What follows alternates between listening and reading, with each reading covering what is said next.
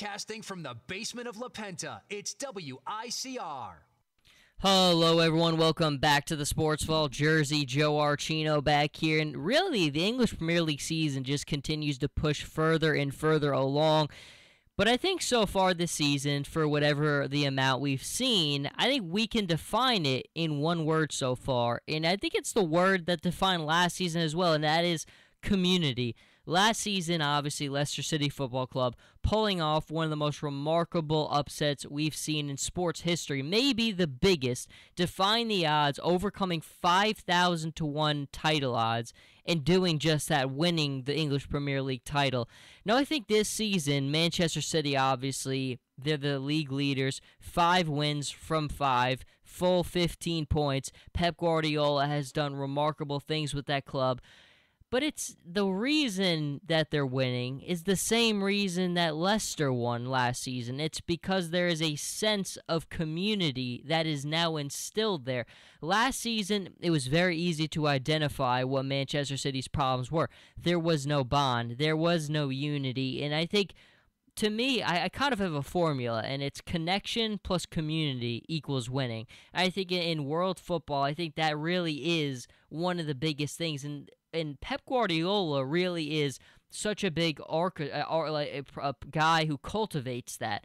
When you look at him at Barcelona, that sense of community was there. At Bayern Munich, that sense of community was instilled, and now once again here at Manchester City, you see that sense of community that is there once again it's not an easy thing to do in, in in world football because the egos are so big. There's so much money into it. There's and especially when you're at a big name club when you have the ability to spend and have so many big name players, it can be difficult to control the room and get all those players on the same page and most important, get them to like each other.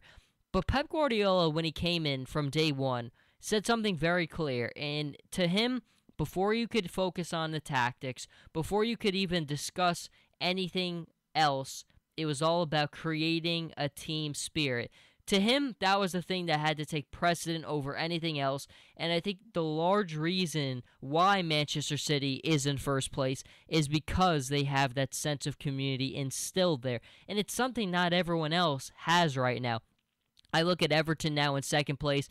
Everton has been very good. Uh, to me, I didn't have Everton inside my top 10 at the start of the season, but that's probably one of the ones I will be proven wrong on. They really look like they are climbing up to a very good sp- position. Romelu Lukaku has gone off to a great start this year. One of the reasons I was uncertain about Everton was losing a guy like John Stones, and obviously when you're a club like Everton who has so much good young talent, guys like Barkley, guys like who they had Stones, you worry about that talent being purged from the bigger name clubs. And obviously with Stones, I think we all knew and there was no surprise when it happened, John Stones was going to make the move to Manchester City and he did.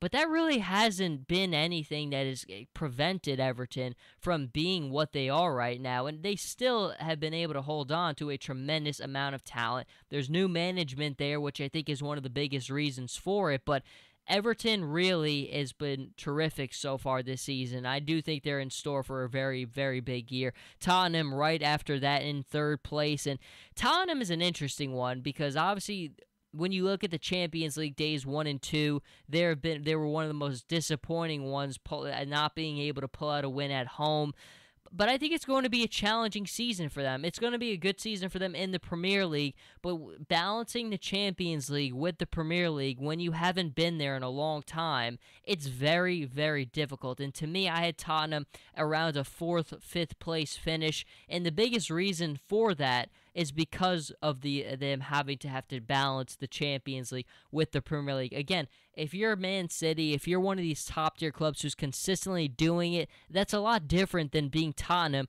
who broke a dry spell and is now finally back in that competition. You have Arsenal right after that, and Arsenal is kind of on their knees praying right now that they're in fourth place because the start to the season for them was miserable. And I think the, the Arsene Wenger's seat had never been hotter.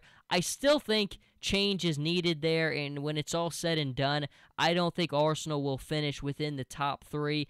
I had them finishing in the top uh, in third place when the season started. I no longer think that. I do think that Chelsea will overcome and be able to do that, but even another club like Liverpool now, who I had finishing around the seventh spot, they look like now they're continuing to even get better and they could overcome a side like Arsenal.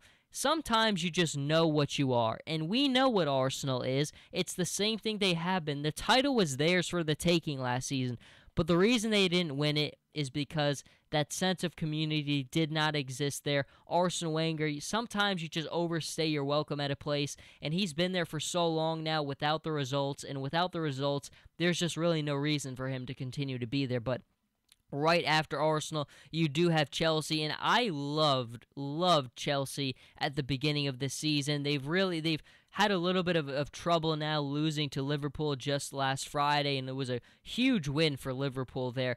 But I look at Chelsea and the fact that they really aren't playing, eh, don't have the Champions League or some other burdens against them, and really their sole focus can be on the Premier League, I think that's huge for them. This is a club that has such an uh, incredible amount of talent. Eden Hazard's had a very good start to the season. Diego Costa is still scoring goals left and right. So, and, and of course, the X factor for them is Antonio Conte. And yeah, it was a difficult loss for them against Liverpool, but I do think they rebound. And they just, same thing with Liverpool. Liverpool and Chelsea, Liverpool being right behind Chelsea in the sixth spot.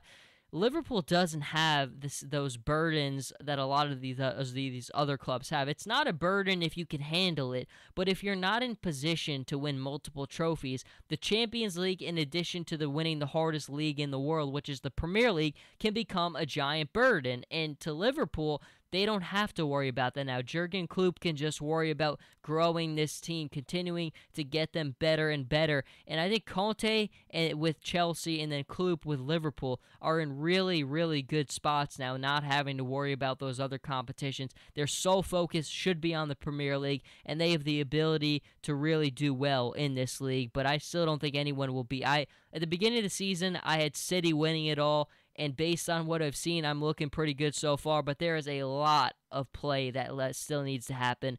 But I still feel very comfortable with that pick. Then in the seventh spot, which is such different from what it was just a few t- a few weeks ago, Manchester United and sometimes one loss can really deflate you for a long period of time. And I think losing the Derby at Old Trafford when they had so much momentum, had so much steam, really, really hurt them badly. They really have not been able to recover from that loss. After losing to City, they lose, of, of course, in the Europa League, and then they lose to Watford this past weekend. But it's a difficult situation because we're still everyone's still waiting for Paul Pogba to really have that signature performance. I think he's played well in stretches.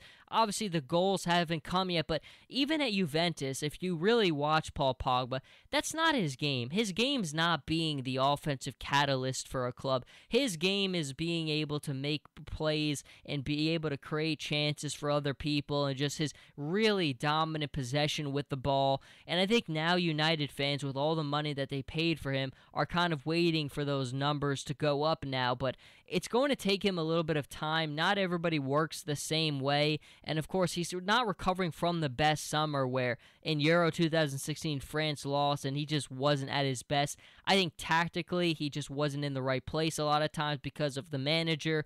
But I think more than anything, United's fans it's not it's a little bit of a slippery slope right now and obviously Wayne Rooney has been one of the biggest people who've been scrutinized the most and if there's anything you can say about everything that's happened with Mourinho. I mean, Zlatan Ibrahimovic has been incredible. He's gotten so much discussion, so much talking. Marcus Rashford, his continued growth gets talked about at every twist and turn. Paul Pogba, his creativity, not so much the goal scoring. But then Wayne Rooney, what's happened to the captain? I mean, it seems like he's the one of the guys who's really struggled with this adjustment. And obviously, Mourinho, again, he's as good as it gets. He's going to get this figured out. But Wayne Rooney is one of those guys where I thought having a guy like Zlatan, having a guy like Pogba, having some of these other new pieces was only going to make Rooney's job easier. But it seems like it's been quite the opposite, and now he's struggling to fit in more now than ever. And I do think his play has declined just a bit the past few seasons. And more than anything, sometimes Rooney's at his best when he just doesn't have to worry about leading and he can just go out there, focus on his game and play. And to me, he struggled with that with that degree to a degree a little bit now. But United has a lot of questions that they certainly need to address right now. Crystal Palace in eight, Watford at nine, and West Brom at ten. Now I'm very happy Crystal Palace is at 8 because based on their start to the season, I had them finishing in 10th place and I thought I really could be way off with that, but they have recovered from that a little bit nicely. If you ask me though, and I have been asked this question a couple times, who's been your biggest disappointment? By far, and I think this is most people's, West Ham United. I had West Ham finishing in about eighth place. I believe I had Crystal Palace at 10. I had Stoke City at 9. And then I had West Ham at, t- at uh, 8. But when you look at West Ham, I mean, obviously the excuses really aren't there when it comes to it. They have good players. They're not. They're obviously not top tier like some of the top five clubs in this league. I mean, they look.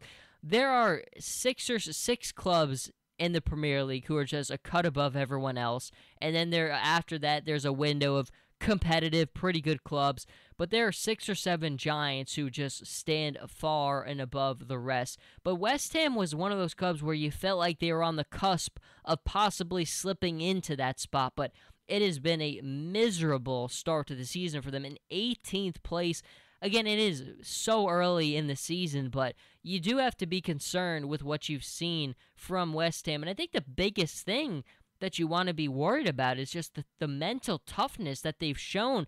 I mean, the the fact that they still haven't been able to put this together, having now a new stadium that they're trying to break in, it's been very disappointing for West Ham United to say the least. I know the faithful and they have such a good fan base there. So this summer, I mean, I did a lot of content leading up to the Premier League, and I interacted with a lot of West Ham fans, and I, I just loved it because you could see the the passion there and just a very realistic fan base who just believed that their club was taking that next step forward. And I agreed. I thought West Ham was on the door and on the footstep of really taking that next step, but it hasn't happened for them. And if I had to chalk it down to one word, I would say again, community. That formula really does exist and it holds true no matter when you try. It's community plus connection equals winning. You have to do those things to get yourself in the right position. And I think when you look at the managers at the top of the helm of this league right now, they've really done a great job at doing that. But there has been no one who has done that like Pep Guardiola. But that's because there is only one Pep Guardiola. But until the next time, Jersey Joe Archino here with the Sports Vault. You can follow me on Twitter at Joe Archino and on Instagram, Jersey underscore Archino. And I'll catch everybody in the next segment.